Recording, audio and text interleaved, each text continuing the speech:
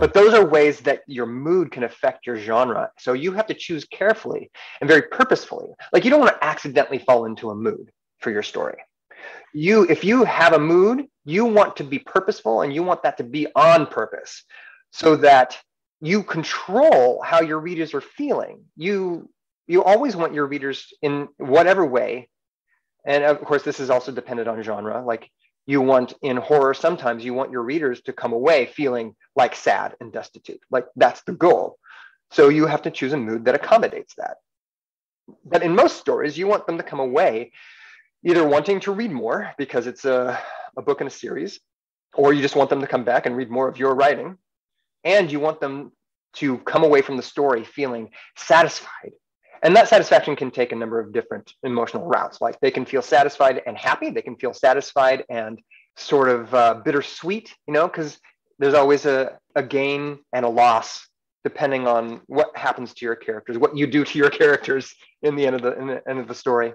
But yeah so genre definitely will affect your choices on what mood you try to go for, for throughout the story and your atmosphere as well Welcome to the Stark Reflections on Writing and Publishing podcast.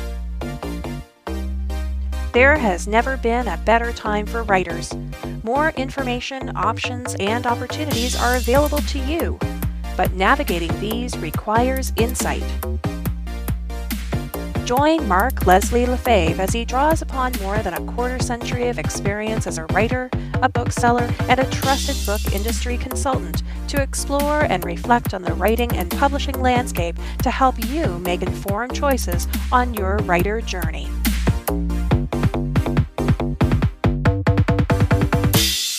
Hello, Reflectives, and welcome to episode 260 of the Stark Reflections podcast. This is your host, Mark Leslie Lefebvre. In today's episode, I have an interview with Joshua Essoe. Joshua is a freelance editor with over a decade of full time work under his belt. He's edited for bestsellers Piers Anthony and David Farland, including the multi award winning novel Nightingale by David Farland. And I've also hired Joshua as an editor and consultant on various projects over the years, and it is a fantastic conversation about world building, mood, and atmosphere, three important elements that writers need to know about. And that's coming up later in this episode. First, let's hear a word about this episode's sponsor. This episode is sponsored by Findaway Voices. Findaway Voices is a platform that allows authors opportunities to get into the audiobook market.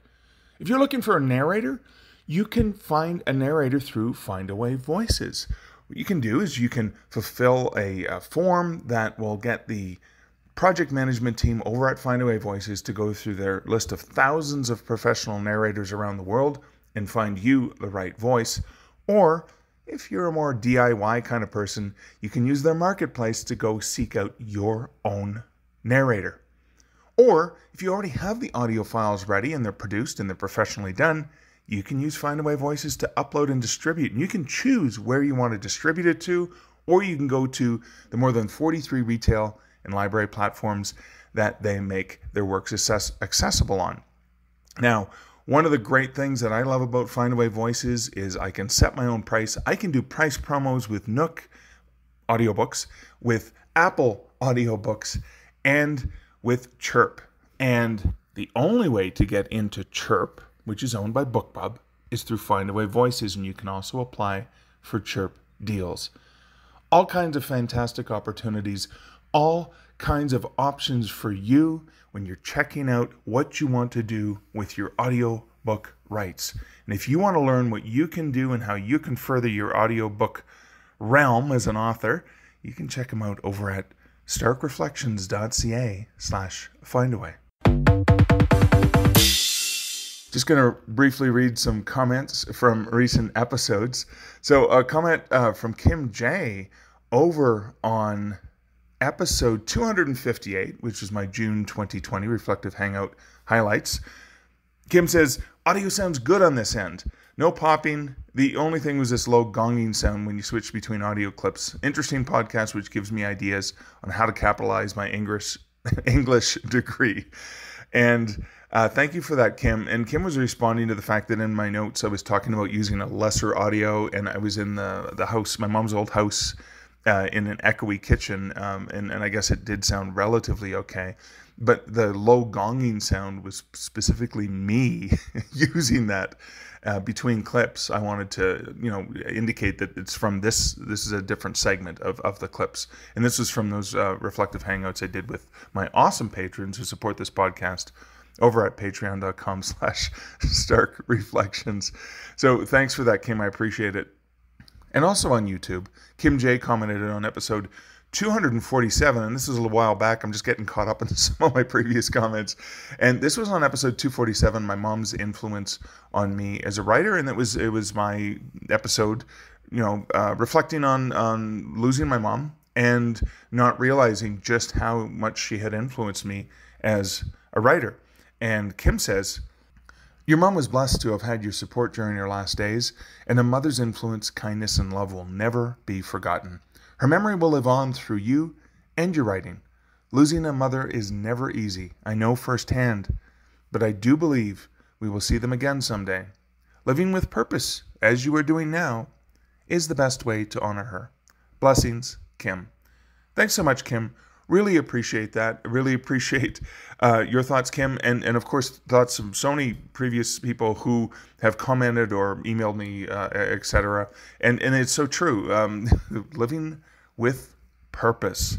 And that's what I want to do both as a writer and as somebody who helps inspire and inform and maybe even entertain other writers out there. So thanks so much for that, Kim.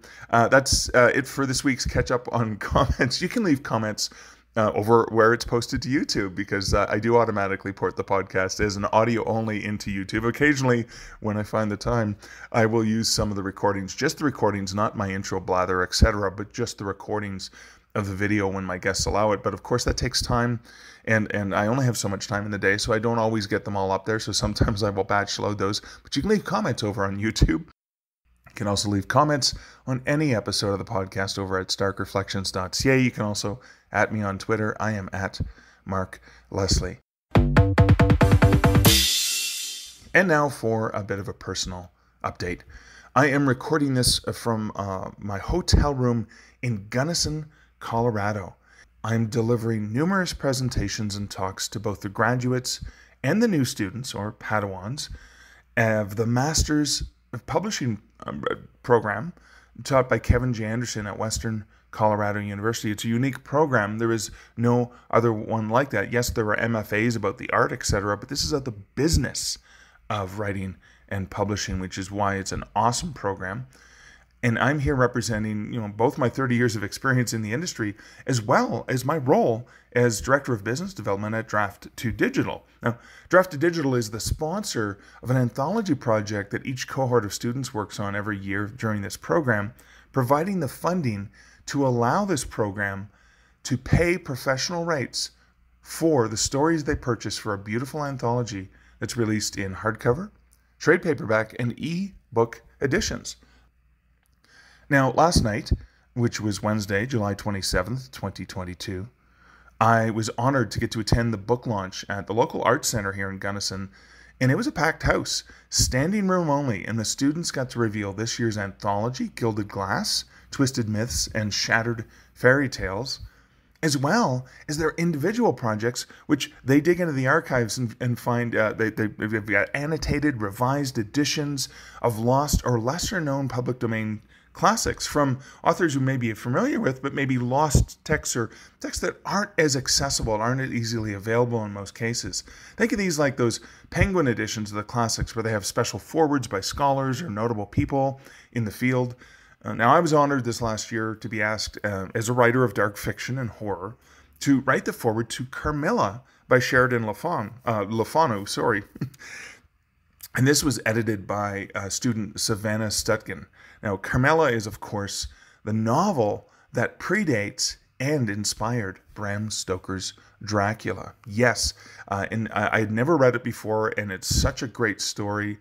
I actually uh, listened to the audiobook version read by Canadian actress uh, Megan Follows, who played Anne of Green Gables in uh, in that classic TV show, not the new one, but the when I was when I was younger. Uh, great novel. It was phenomenal, groundbreaking novel, even in terms of sexuality and things that would just been really really taboo back uh, when it was published prior to Dracula. So not only was it groundbreaking, uh, influenced uh, Stoker, it influenced so many writers and uh, creators over the years, and it continues to influence writers and storytelling today. So that was just part of what was happening. What a phenomenal week to get to work with such great students and, and a wonderful program, which is really about educating the um, you know more people about the business aspects of writing and publishing so they can truly understand it top to bottom from both traditional publishing and from indie or self-publishing. And that's long been one of my passions and really the reason behind this podcast is just wanting to share and reflect on so many of the things that we have as options for authors and make sure that you dear listener can make those informed decisions. But that is it for the personal update and my precursor comments. Why don't we get right into my conversation with Joshua Essoe? Joshua, welcome to the Stark Reflections podcast, or I should say, welcome back to the Stark Reflections podcast. Yes, welcome back. I think it's what my third time on. Uh, oh, did, did I have you on on this twice, or was that the Kobo Writing Life podcast? I'm tr- I'm always trying to remember, right? Because I've interviewed you a number of times, but I'm not sure if it was for my podcast. it's true. I know that we've done this before, this specific thing. Oh, we have before, and then we've also done. I guess it was for Kobo. So, yeah. Yeah. So, for listeners who aren't uh, lucky enough to have heard your previous appearance on the Stark Reflections podcast, can you give our um, uh, listeners a little bit of a background. So, who is who is Joshua Essoe? Oh, a good question. hitting hitting with the hard stuff first, huh, Mark? uh, I am a, uh, a freelance, a full time freelance editor, and I've been editing since 2010. Uh, I started uh, accidentally because of uh, Superstars Writing Seminar and a conversation with uh, Brandon Sanderson and uh, another guy who was attending the the conference named Moses Siregar. He walked by, he heard of conversation. Brandon invited him over, and because of the feedback that I had for his story, he asked me to edit his novel. And I did, and I loved it. I thought that was great. I said, "Hey, well, why don't I just be an editor?" in fact, it was even better than that because I decided, why don't I be an editor to support myself while I be a writer? so here we are, what, 12 years later, and I'm uh, I've just become a, a writer, a, yeah. a, published author, but here I am still editing. well, it's it's kind of cool, and, and it's been fun to watch you on this journey because I remember at Superstars writing seminars being on a panel with Dave Farland. Yeah. And and I remember I, I, had been looking for an editor, and and Dave's like, "Oh my God, I've I've worked with Josh. He's he's amazing. You've got to." And then of course I got on your nine month waiting list, or right. whatever it was. so yeah, um, we did your your werewolves uh, in Canada, right? Yeah, yeah, way back when. Like that was such a, a fun process. But I, so I knew of you as an editor, and you were always helping other people and offering advice, and that was your specialty. But then you actually got back to you got back to Joshua the writer. Can you talk about a little bit about that journey of getting back to that? Because because you're a well-respected editor who's obviously in demand. Uh, it's not just like, hey, Joshua, can you edit my book next week? Uh, no, Mark, I'm booking six months out. like, sorry, but but yeah. so how do you how did you do the transition, and then how do you make time for that? So the transition to writer happened because I there were there, there were a couple reasons, but the most salient one was that one of my goals in editing is not just to have fun editing people's stories and to read all day. Like that's a great part of my job. Right. And I often say, you know, I've got, I've really got the best job in the world.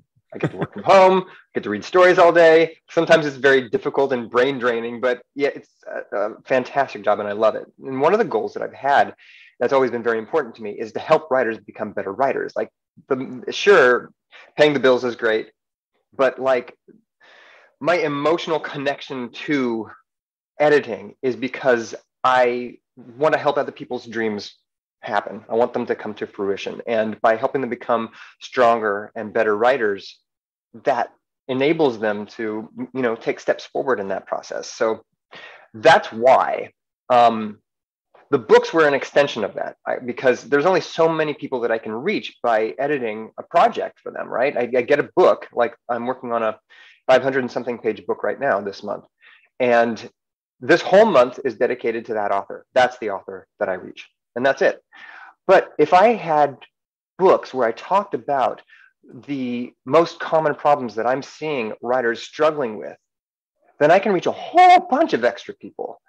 I can I can help a lot other a lot of other writers become more proficient, stronger, and maybe get up and achieve those dreams that they're trying to reach. So that was that was the idea that spurred me along and finally made me carve out time within the editing editing schedule to start writing these books.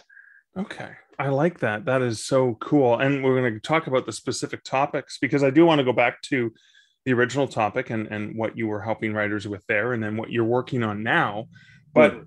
let's let's just look at your day. So you divide up your day somehow. How do you divide up the day for your writing to get this project done and helping someone else's well, well, the actual writing of this particular book, um, well, it was true of the last one too. It's I don't suggest it to anybody. It's a little bit bonkers. Even though I've been working on this particular volume for a little bit over a year now, um, here we are getting close to the launch date to when I launch it on Kickstarter on August the 1st. And my day starts, you know, doing chores and things like that. And then I start working on the book. Okay. Um, I'm in the editing stage, the, the final bit of the editing stage for world building, okay. which is the first subject of the book. And I am finishing up the actual writing for the second subject of the book, Mood and Atmosphere. Okay. So after I do that for a couple of hours, then I move on to my editing project and I, I work on that. I have a quota of pages that I need to get done per day in order to finish the, the whole manuscript by the end of the month. Okay. So, you know, currently that means I'm editing until one or two in the morning. And then after that, I, I, I, take a break for uh, lunch. I like I posted on Facebook uh, the other day thing was on Thursday. I'm losing track of the days, honestly. I thought I was a day behind all week long. Uh, I had uh, lunch at midnight on that day. so, I saw that post. Yeah.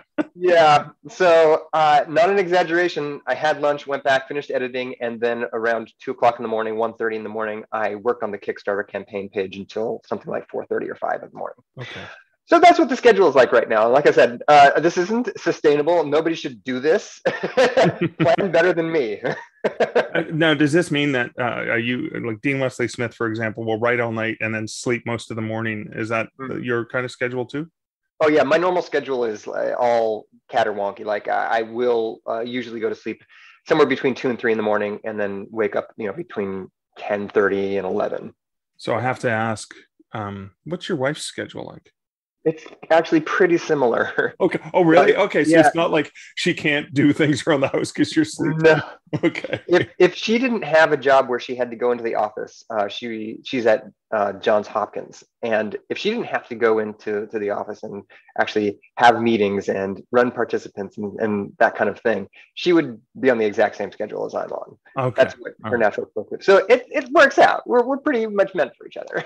okay. Oh, cool. So so we uh, talked about so we've got world building and and mood um, uh, mood and atmosphere are the two topics of this book but it's not just a book it's it's two books but you've done something really unique with it and it's related to how you launched the first two books in this series yeah. as a book yeah in a kickstarter can you can you kind of let's go back to the beginning mm-hmm. and and why you did this uh, and obviously what the first two topics were and then and, and then we can kind of work our way through history here Sure. So the the idea sprung about after actual many years of what am I going to write about exactly? How am I going to do it? What's the treatment for the book? How is it different? And the ideas that I was really attracted to was to sort of pay homage to uh, to comic books.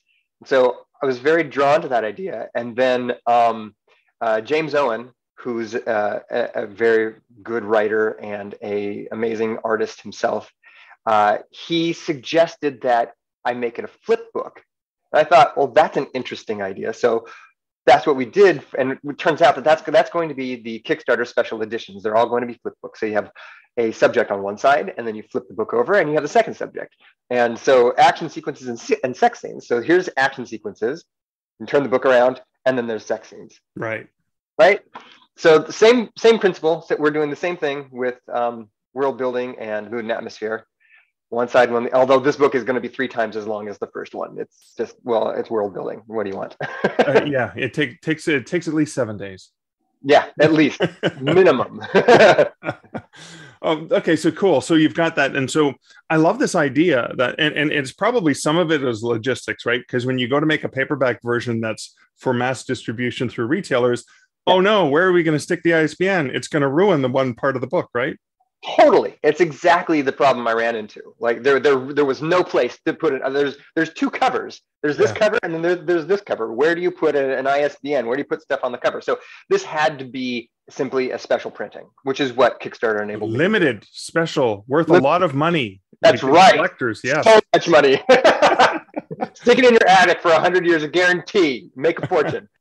uh, so that's what I had to do for the the special edition for the Kickstarter campaigns. But for when I release it wide, there each subject is going to be split up into its own individual book.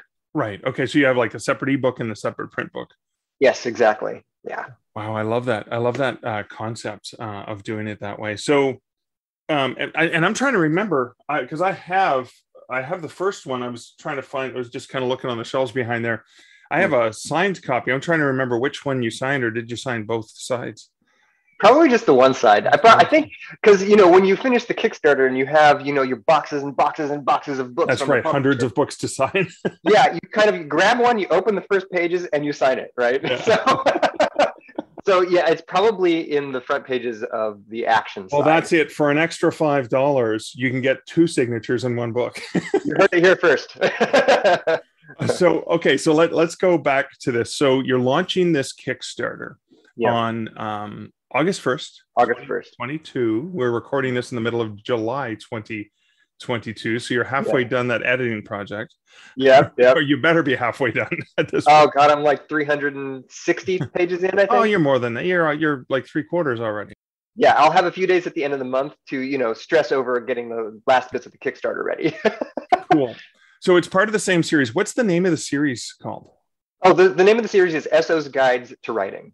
Makes sense. A very yeah. on brand. It's it's Essoe's guide yeah. to writing. Yeah. cool. And this is uh, so I love this. So this the, the idea is that hey, I can't work with you because you can only work with, you know, maybe one or two or three authors at a time, depending on how you schedule that out. Because I know you fit in shorter projects when you've got a big book and stuff like that. Um, every once in a while. sneak you sneak them in for people like Brandon Sanderson. Yeah. but uh, although I, the, the man doesn't write short. So. No, no, he does not. but um, so the um, uh, where, where was I going to go with that? Um, the the the branding you've got the four books out so this will be launched in august as a kickstarter the people who support this on kickstarter will get it before anyone else gets it and right. they'll get a special edition no one else can get right. that's kind of a unique thing to do the other unique thing about it is um, is Mr. Owen uh, involved in in the art uh, like he yeah. was previous book? So you yeah. also have original art from James Owen, right? Exactly. Yeah, and there's a um, just like the first one. There's a top tier reward level if you back that, uh, I will, after I sign it, I'll mail it to James. And James will do uh, a little picture. He'll draw something in the front pages, and he'll sign it as well. Like like when he signs books and he does the custom drawing in it. Right. Oh exactly. God, wow. yeah, yeah, yeah. That is. I forgot about that one. Yeah, yeah. So that's going to be really cool. And a little bit more fiddly. People have to wait a little bit, little bit longer for you know things to be mailed back and forth. But worth yeah, it. Makes sense. Yeah, that, that's true. I love that. And so let's talk a little bit about uh, world building in general. Like, so what are some of the mistakes that people make in world building?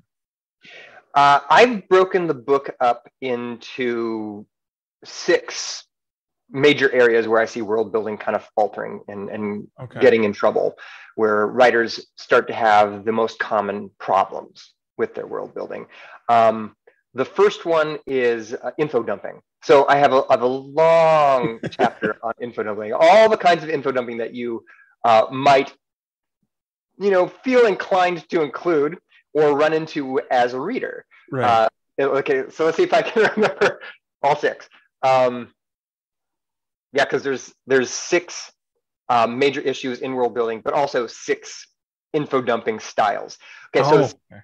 six info dumping styles are um, the world building info dump, the backstory info dump, uh, the technical info dump, you're talking about like the very technical specifics of, uh, of a process or a right. magic or a technology, um, dialogue, thought, and emotion. Those are the six. So I go into a section on each one of those styles of info dumping, and I talk about what it looks like, um, how you can fix it if you've already done it, and how to avoid it before you do it. Oh wow, I love that. That is fantastic. I was just this morning rereading uh, Kevin J. Anderson's Dan Shamble series that he kickstarted the new print editions, and I had to get yeah, yeah, he did. paperback. Yeah, I backed that. and as I was reading the opening of Death Warmed Over, the very first one, I was reminded at how strategically he builds the world of the the big uneasy, mm. right? Because he starts off with the you know I'm a private investigator, death is my beat, that kind of kind of thing, right. you know, just very tropey sort of noir. Right with some humor but then he slowly reveals well why is the world like this? How did what what? But it, mm. he doesn't do it all at once. It's kind of like he gives you a little bit here a little bit there a little bit there. And so is, is that the kind of thing that that that helps with rather than just so tell us professor and then we pause for three pages while we learn about where this planet came from and right. I love that. So tell us professor. I i, I talk about that exact thing uh, in uh, in the book. Um the there's a lot of ways that you can go about that. So uh, what you're what you're talking about specifically is uh, some info dumping, right? How to get the information that he needs about his world to come across in a natural way that doesn't interrupt the flow of the story, right? right? So uh, info dumping, and then he is working on creating a history to the world, right? Giving it depth.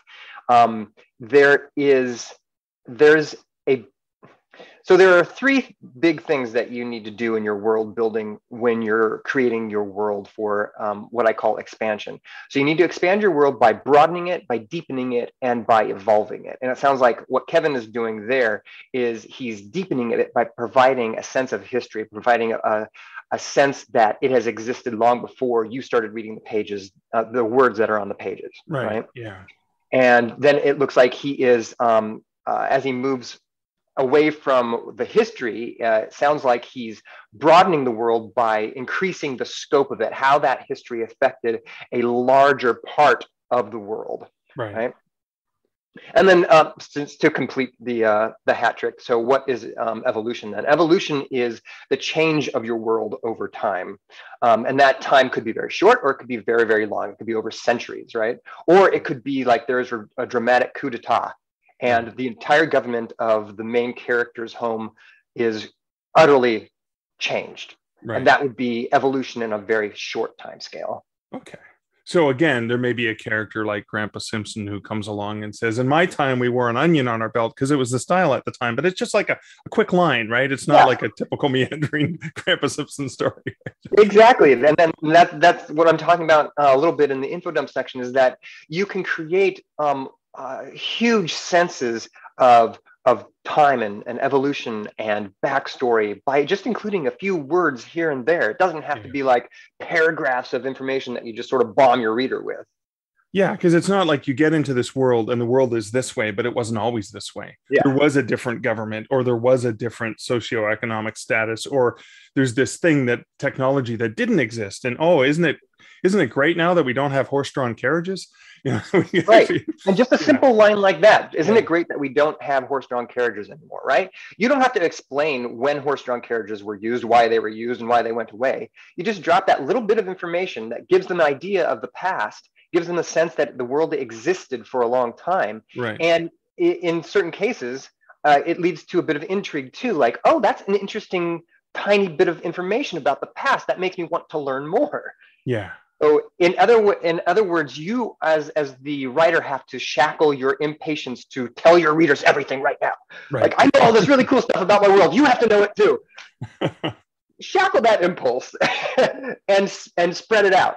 If you spread it out, not only will you prevent bombing your readers and making them feel bored or lectured or like they're reading a textbook, but you'll start drawing out a um, sort of like a story within a story. Like there's a there's a undercurrent underneath the the main storyline, the central conflict of your novel that is leading them through, and that little current is the intrigue and the mystery and the interest in how things got to the point that they're at when the story begins. Okay, cool. So I know you're you're a fan of uh, Tolkien, maybe Lord of the Rings, uh, as an example of of a sure. Who isn't? realm. I'm just wondering, are there examples of the way that Tolkien did his world building? Because it's such a massive, yeah, you know, setting, such Yeah. a massive world that he's built. Um, are there examples that you can draw from, like using that as an example of okay, this is how he established, you know, you know, customs of the hobbits, for example, or, or whatever it is. Now, personally, I feel like um, Tolkien was a big time info dumper. all over the place. But what I But thought he had a lot to dump. he had a lot to dump. Yes, he did. He was primarily uh, interested in languages and the world building itself, and the story was sort of a secondhand thing. Yeah. And that's fine. Like there are there are stories that are uh, based on the world, right? There are stories that are based on characters, stories that are based on the conflict, a plot line, something, an interesting idea. There's other stories that are based on I invented a really cool place that I just want to have characters move around in so I can show it off. um, so I thought it was interesting how throughout his stories he uh, he does that thing where he drops words and he drops names and he drops uh, uh, a reference to an event, like a historical event, and he doesn't al- always go into them. He just leaves it there, and you go, "Oh, that sounds interesting. I want to know what happened there." yeah. right and i mean that's that's one of the reasons i think that he has such a gigantic fan base who are just like rabidly digging into his notes on the worlds right? They they moved they have moved long past the actual story of the thing you know? Um, frodo and all his buddies. Those guys were cool but what about that world building you know? That's why so many people who are like you, you talk to them um like like Stephen Colbert who, who are just so into the story. The story was like here's your free taste into the world building for them. I like that. I like that. So, but world building isn't always a fantastical world that doesn't exist. Not like some set on another planet or in a different kind of universe with magic, etc. Uh-huh. Do you do world building if I'm writing a contemporary novel that's sort of set in 2022 and yeah in, in New York or something like that? yeah no that's a great question because yes you can absolutely um, world building isn't just the wholesale creation of something brand new um, it often is and i think that people when they think of world building that's the first thing that they go to. But for example alternate history stories they have to do world building. They have to create how like the butterfly effect worked on um, modern day america if uh, we lost the civil war or and i think i think that story's been done. I just can't remember the title of it. What if what if we won in vietnam? What if susan b. Anthony or harriet tubman tubman were never born you know these kinds of things. And then you take the history from that point and you have to world build it out so that you reach you know wherever your story takes place. So yeah there's a lot of world building that can still go into those kind of alternate history things. And if you're just writing a contemporary story if it's completely based on our world then what that amounts to is you're going to have to do research. Like you have to figure out how things really are if your contemporary diverges from how things really are that's when the world building begins and, and I guess it could be a weird combination. So you can set it Yeah. in modern day New York and know for sure that based on actual logistics and maps, there is no building on this corner. But what if there was? Yeah Or I turn this building into a restaurant and it's really a retail outlet or whatever, because in my little world, everything else is the same except this is a restaurant or whatever for the convenience of the characters. I mean, it can be it can be little elements like that that are based on a lot of research going, okay, this is a one-way street heading in this direction. yeah yeah whatever. Okay. the immediate example that pops into my mind is from Ghostbusters. Um, Dana Barrett's building uh, that building, though as a structure, it does exist in New York. I, I, went there, I saw it, it was cool. Yeah. But they invented a completely new building, a complete history for it, yeah. why it was built. Like that took everything that was um, modern and regular and normal about uh, America at that time, and they included these world building elements you know, not least of which, of course, you know, there being a huge ghost the spirit incursion into the world, right? oh yeah, well, who knows, right? We don't know. Who knows? Yeah. but okay, you know, I like that. Yeah. So you you recognize things and you understand. Oh, this is this is how things are. The Stranger yeah. Things is, is could I guess another example of the '80s. We remember. Yeah. The '80s were like, but we not necessarily the um all of the things. right, right. But a lot of it was there. Oh yeah, Blockbuster and all of those other things that were part of our culture. So that is still yeah. world, world building, even if you didn't have a fantastical element.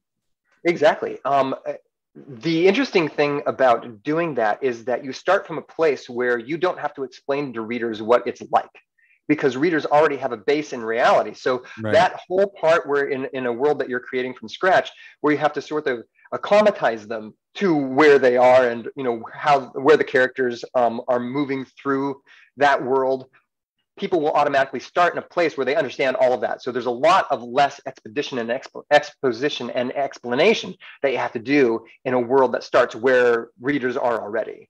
Okay, cool, awesome. Yeah. Thank you. I love that.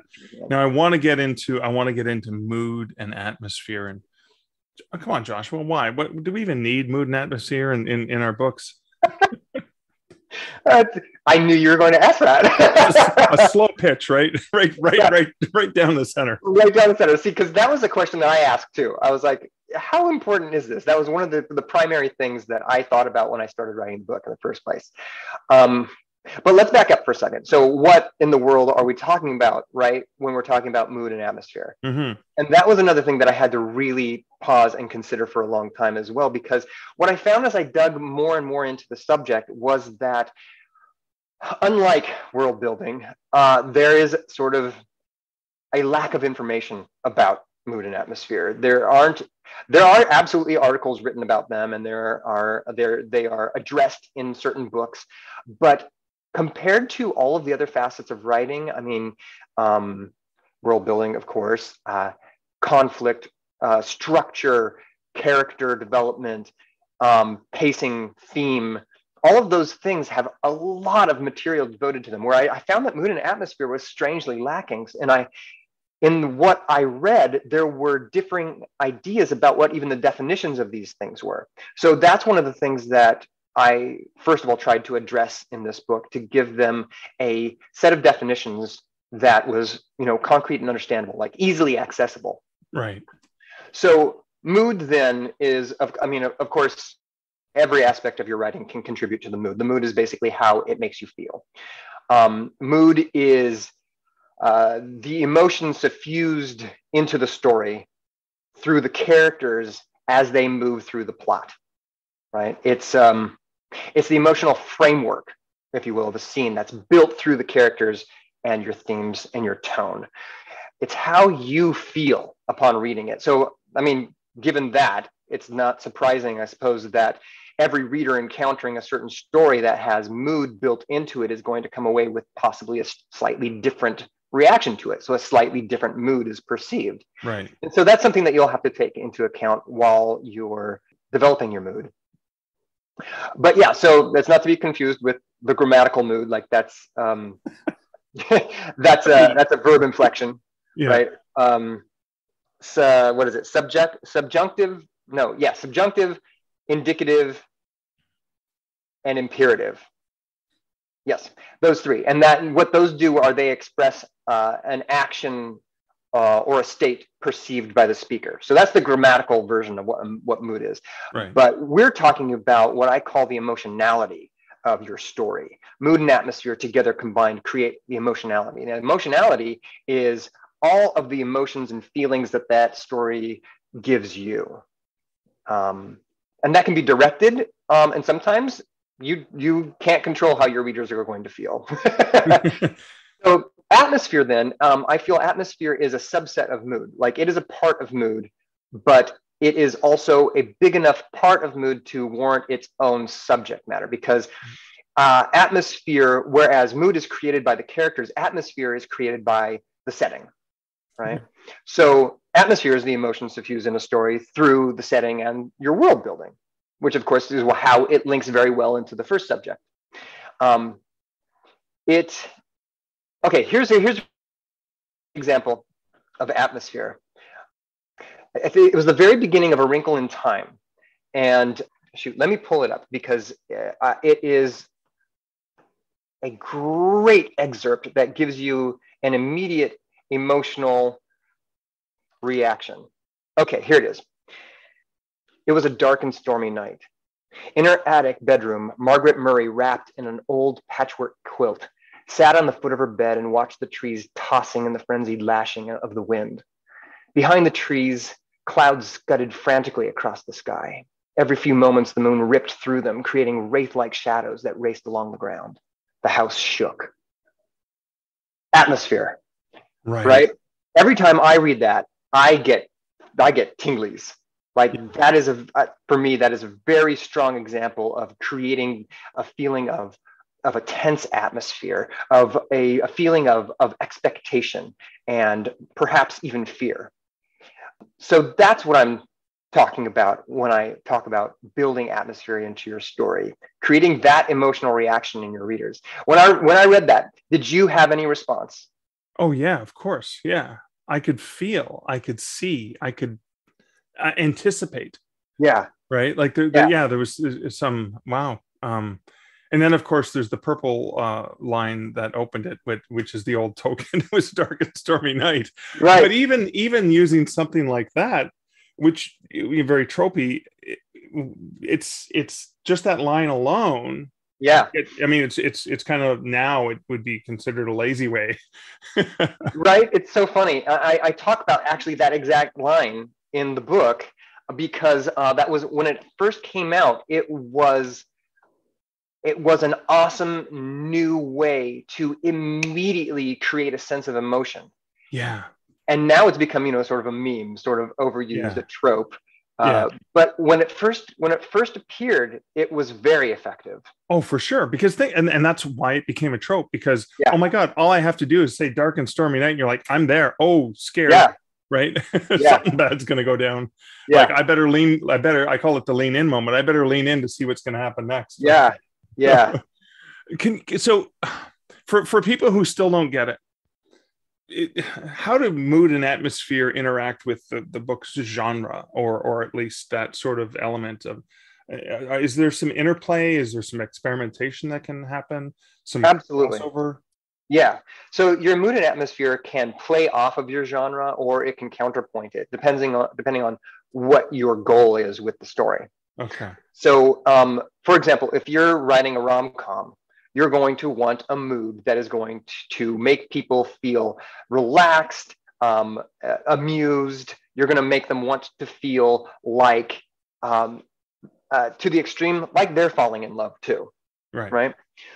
If you go with a rom com that evokes horror, you you might be missing the mark, but maybe that's your your artistic, you know, interpretation of, you know. Unless it's dark humor of a date gone wrong. right. I mean, and they have done um, horror rom coms, of course, right? But there's always an element of, you know, that calm, that comedy. That's why it's called a rom com. But um, yeah, if you took uh, a romantic relationship, a story about a romance, and you gave it a mood of of anticipation and of yearning and of um, of hope. Contrast that with taking the exact same story and giving it a mood of suspense, of um, of delay, and even of horror. Like, what if that relationship is set in a zombie apocalypse? Right. Yeah. Right. As compared to sending it um, in a hotel in Japan while one of them is filming a commercial. Right. right. Um, lost in translation. So, which I would not, I would not call comedy. That one had um, comedic moments, but it was definitely not a. Anyway, uh, love that movie. But those are ways that your mood can affect your genre. So you have to choose carefully and very purposefully. Like you don't want to accidentally fall into a mood for your story. Right. You, if you have a mood, you want to be purposeful and you want that to be on purpose okay. so that you control how your readers are feeling. You, you always want your readers in whatever way. And of course, this is also dependent on genre. Like you want in horror sometimes you want your readers to come away feeling like sad and destitute like that's the goal. So you have to choose a mood that accommodates that. But in most stories you want them to come away either wanting to read more because it's a, a book in a series or you just want them to come back and read more of your writing. And you want them to come away from the story feeling satisfied and that satisfaction can take a number of different emotional routes. Like they can feel satisfied and happy. They can feel satisfied and sort of uh, bittersweet you know because there's always a, a gain and a loss depending on what happens to your characters what you do to your characters in the end of the, the end of the story. But yeah so genre definitely will affect your choices on what mood you try to go for, for throughout the story and your atmosphere as well. That is awesome. Thank you. So um, we've got some great tips on mood, atmosphere, on uh, world building. And Joshua, please, can you share? Uh, so it's going to be launching. This is the Kickstarter. Can, can, you give us a heads up of some of the rewards you have planned, or is that still sure. secret? no, no, no, no, they're not secret. Um, so it's launching on August 1st. It's going to run for 30 days and end on August 30th. And some of the rewards are, um, first of all, you know, the digital books, right. the physical books. Um, I, I also have um, an early bird that I'm going to try out. Haven't tried an early bird before, so this will be interesting experiment. The early bird will allow you to get the first book, um, action sequences and sex scenes, plus the second book, world building and mood and atmosphere. Oh, cool! Okay. And it, it, will be for the first um, 48 hours, and uh, people will pay a reduced uh, price for that. And there, I think I've what I've limited it to 52 copies and the first 48 hours. So we'll see how that works out. Like I, I, think that's a pretty cool reward if somebody hasn't backed the first Kickstarter already. Right. Um, other rewards are after we move past the actual physical books and, and well, digital books. Uh, I offer some services. Now I'm not offering as many services as I did last time because I learned my lesson. Uh, I know, and I took so such great advantage of that. Thank you. uh-huh. no, we had a great consult. Uh, that was phenomenal. Yeah. I, I mean, for anyone who's thinking yes, take advantage of this if you can. Thank you. Thank you, Mark. I appreciate that. Yeah, I love the consult calls. So that's one of the rewards, of course, again, this this time around. Uh, the consultation calls are basically where you have questions about your story, you're you're you're blocked, um, you can't you can't write. Uh, you need to go over your outline or you have an idea for a story you're not sure how to make it work any of those questions any like writing related questions we talk for an hour and I help you figure it out. You know, the goal with all these consultation calls is to make you come away from that call feeling like really enthusiastic to get back to your story. Yeah. So those are those are on a tier. Um, I'm also editing the first five pages of stories um, in a tier in multiple tiers, and uh, I, I had to do away with this time the three hours of editing because that just that killed me. oh, I, I can only imagine how you had lost sleep trying to get caught up on that yeah yeah that, that killed me the first time around. So there's not none of that this time but um, i have included a new thing.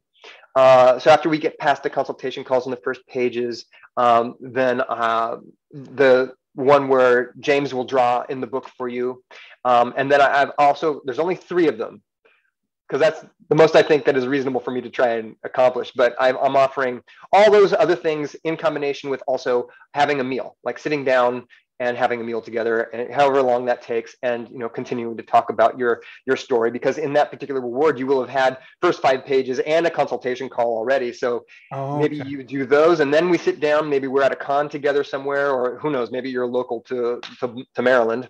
Yeah.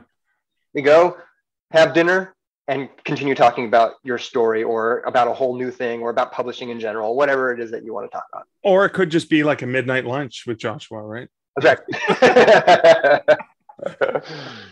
oh, that is awesome! I love that. So that's launching, and uh, you're gonna you're gonna give me the links so I can drop that in the show notes. Yeah, absolutely. Yeah, cool.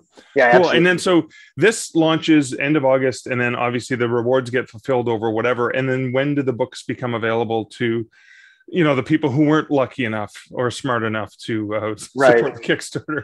And that's a really good question. So uh, we will finish up the Kickstarter at the end of August, and then I'll there'll be a two week period while I wait for Kickstarter to do all of its internal stuff, and then say yes, here's all here are all the funds, and I take those funds and I go to the printer. Uh, not sure how long that's going to take. What I'm saying in the Kickstarter is that I am going to get you your books by Christmas. Okay. Um, it could very well be earlier than that. It really right. just depends on on mail. Yeah, I get that. Yeah. You know, and and how backed up the, the publisher is right now. I don't feel like they're especially backed up, so I think that I'll be able to get a good position in line. But uh, we'll have to just wait and see. Cool. And uh, Joshua, thanks for hanging out with me. Can you please leave my listeners with where they can find out more about you online? Yeah, uh, you can go to my website. That's probably the easiest place. It's joshuaessoe.com.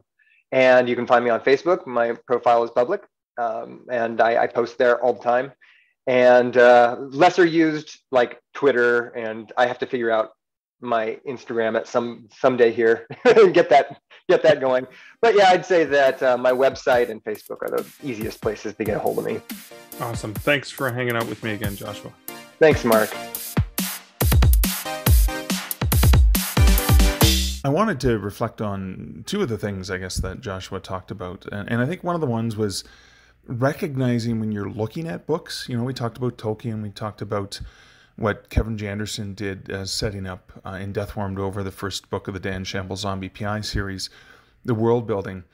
And one of the things we can learn by looking at books and understanding where and how the world building happens and paying attention to that, not just reading it as a reader and enjoying it, but recognizing, like I did when I was recently reading Kevin's book, recognizing how he's just slowly filtering in little bits of information through dialogue, through narration, you know, exposition, etc., but in such a way that I got a feel for the world, not in one big giant info dump, but in layers. So the next book you're reading, whether it's uh, a world uh, that's not like ours, a, a, unique world, or whether it's our world but in you know a uniquely different version of that world, because still the setting and characters and everything is part of that world building.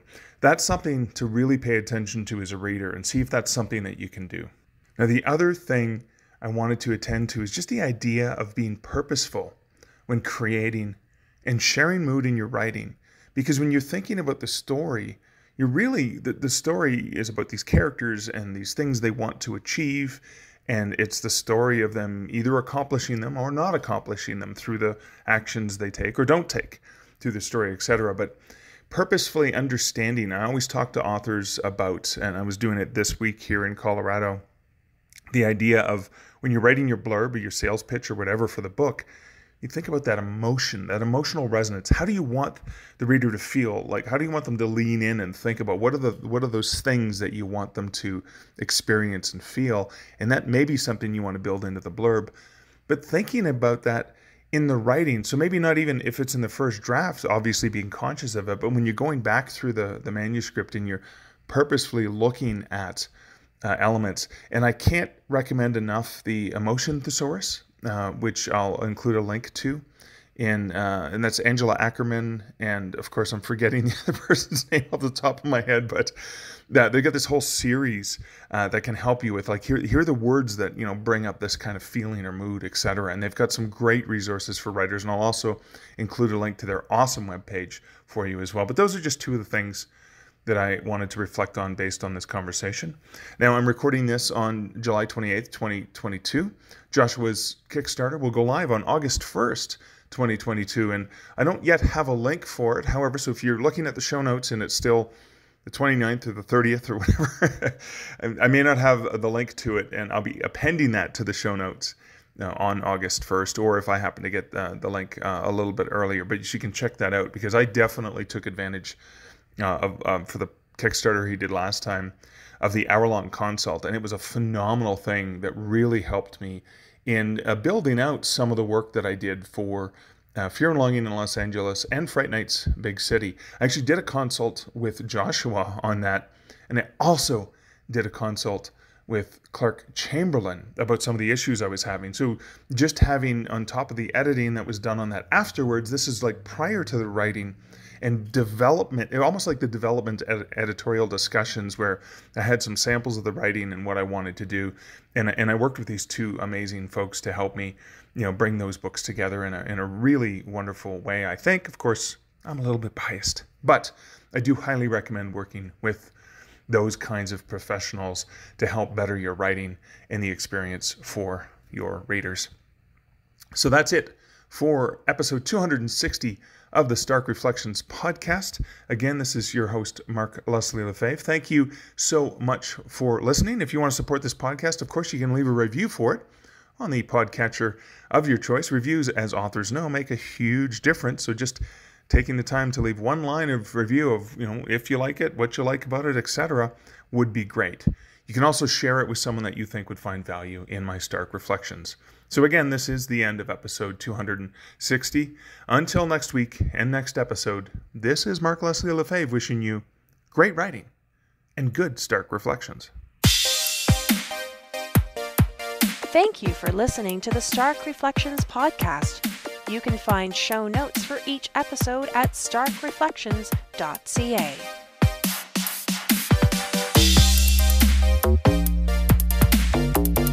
The music for this podcast, Laser Groove, was composed and produced by Kevin MacLeod. Check out more of Kevin's great music at incompetech.com.